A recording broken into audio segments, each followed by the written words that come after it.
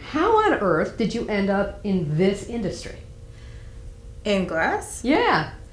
Um, well, if you ask my mom, ever since I was little, I was watching the news, always had a pen and paper. I wanted to be a journalist.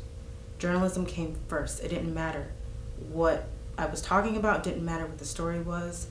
Telling a story for the voiceless, that was what I wanted to do. And that's what brought me here. What was the most rewarding interview you've had so far? I would say a shop owner who lost everything um, and found out because he was called, you know, by the fire department. Mhm. Okay, he drove down to his shop or what used to be his shop and saw ashes, nothing. Everything that he had spent his life working for is now in the ground, literally.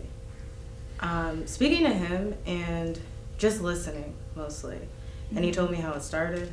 He told me about the investments. He told me all the things that I wasn't really expecting, but I was glad that I got. Right. I'm sure that was really rewarding. It was, especially to find out how many people who didn't even know this guy Mm-hmm. were stopping everything to help him, donating tools, money, food, clothes, anything that you can think of, just to make sure that he was okay.